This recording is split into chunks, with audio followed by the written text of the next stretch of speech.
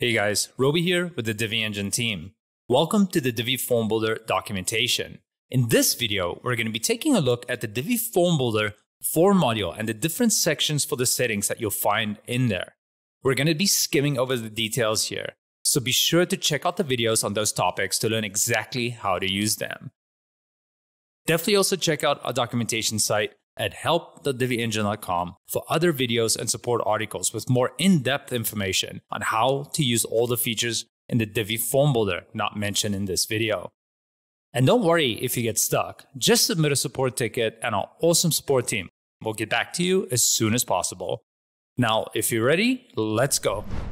Okay, now so the Divi form builder allows you to create a bunch of different types of forms from contact forms to registration forms to all sorts of custom post type creation forms. So much that is possible with this amazing plugin. Now you need to keep in mind that when you look at the settings, that some of the settings may not appear depending on the type of form that you're building. So we only show you the relevant settings to that type of form. That makes it easier for you. You're not fiddling with a bunch of stuff that will have no application on your form. Okay, so now let's start taking a look at these different settings. I'm here in the backend of my Divi install in a page that I created earlier. I don't have anything on the page yet, so let's add a form module. We're gonna select a new row, and then it pops up with the insert module prompt. So I'm gonna type in form, and then you'll notice two Divi form builder modules. We've got the form module and the edit post button. We'll be covering the edit post button in a different video. So right now we're just going to click form and that'll open up our form module settings. Now you're right at the top, you're going to see that it's broken down into different sections. We've got firstly the content. So this is everything relating to the content that you'll see on the page. And then we've got the design where you'll be controlling various design elements, but on a little bit more of a generalized scale. If you want to control the styling of individual form fields, you'll be doing that right over here where you add a form field. Now you can add a whole bunch of different form fields to your form and we're constantly expanding these. But I'm just clicking in here really quick. Here you see the type and you can see a whole host of different types of fields you can add. We won't be covering that in this video. So I'm just going to click back here because all we want to do right now is talk about what's going on here. So our first section after the form field section is the main options. Here you've got control over things like your form title. So if I make this visual here and I type in Divi Engine Rocks, you'll see that the form title appears up there. Now, like I mentioned, you can control the styling of that text in the design tab. Now you can also put a unique form ID if you so choose. And here's what I talked about earlier, the various form types that you can create. These are the ones we have today, but we're constantly expanding these. So definitely check out updated videos on those if they are not covered in this video. Firstly, we've got a contact form up here, which as it states, you can create a contact form on your site with the features you'll find in the Divi Form Builder. You can go ahead and save these to the database. You can sign people up for Bloom uh, registration, newsletter fields, all sorts of stuff you can do. Next up, we've got the create post form for which you can create posts on the site from the front end. You've got the create page form. Same thing. You can create pages from the front end of your site. Now, you can create more than just these two. We've got the option to add custom post types. So let's say you've got WooCommerce installed. You can actually go ahead and you'll see here that there'd be an option for create products. So you can actually have your clients create products from the front end of the site. That is a huge win. And that goes for actually any other custom post type. They'll all pop in here and your users can create content from the front of the site. That's a game changer. Now, next up, what we've got here is user registration, of course. So you can have your users register through the Divi form builder form, a login form, which allows users to log into your site, and then also the custom form, which is used for developers to extend the form to whatever functionality they want. We have everybody in mind here, all sorts of uses for the Divi form builder. It's a pretty amazing tool. Okay, so now continuing on through here, you'll see that we've got a few extra options down here, Ajax submission and scroll to form after submission. That is covered in some other articles on the support site, as well as in other videos, so check that out. And that actually will go for all these other sections we'll be skimming through right now. But I want to show you what they look like and give you a brief overview of what they're for. First up, we've got our email.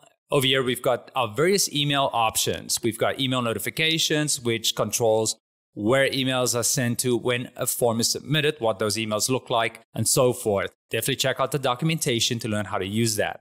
Next up, email confirmations. That is, as you would imagine, for confirmation emails. Next up is notices. Divi Form Builder allows you to change the default success and failed messages, or you can actually use a Divi layout that can go wherever on the form you really want. So that's really handy. We've got redirects. So after submission of a successful or unsuccessful submission, you can redirect the user to a specific URL.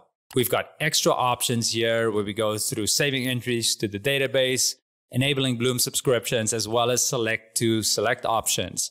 We've got spam protection here where we utilize two different types of Google reCAPTCHA the basic math reCAPTCHA you already know from the Divi form, and then also just a honeypot CAPTCHA field. A lot of ways to prevent spam, and that is pretty much all the different features that you'll find in here. Now, what I just want to make sure you guys also get here is just on the create form that the main options in that main option section, you want to make sure that you set the post default status to create a post. So basically what that means is that if we go here in main options and we say create a post, we want to make sure that the default post status here is set to post. Okay guys, now I do want to make sure that you understand a couple of details on two of the form types when it comes to the Divi form module. What I want to do is scroll up back here to the top and if I select here the create post form or most of the create forms, you can actually select the status of that post when it is submitted from the front end. You can see that you can make it published, you can schedule it, you can draft it, all sorts of different things. Now, in the real world, you're probably going to want to make sure that this is set to draft because maybe your client or you want to review the items that are being submitted. So keep a note of that regarding create post page or any type of create post forms, okay? And now regarding the user creation form, so the user registration form, we've got this setting called is user edit form. If this Divi form builder form is placed on a user account page, you maybe want to enable this so that there's an edit button on that page for the user to be able to edit those details. Now, the other thing is you can specify, of course, their role when they register for your site. Now, depending on the situation, depending on where this is done, also depends on the different custom user roles you have. You might want to specify a specific user role. Probably not a good idea to make that administrator.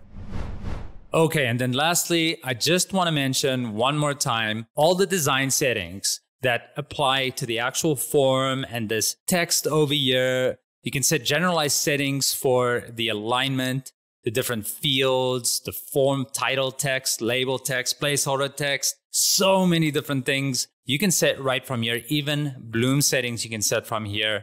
Anything relating to the display of your form and the way that it looks. Now, again, your more detailed form specific settings will be found if we look here inside the design tab of the actual field and will only show options to you that are relevant to the topic or the module or the field that you are working with so as to not confuse you with a bunch of stuff that doesn't apply to you. And that's it for this overview of the Divi Form Builder form module. We looked at a bunch of different settings. Definitely check the video again, as well as the documentation to really get acquainted with this module and the different settings you'll find inside of it. Now, I know we didn't cover everything here, so definitely check out the documentation site at help.diviengine.com for tons of more videos and text articles that are going to help you master the Divi form builder. Now, don't worry if you get stuck. Definitely submit a support ticket so one of our support team members can go ahead and help you out with your issue. So, guys, that's it from me, Roby with the Divi Engine team. I'm going to catch you guys in the next video.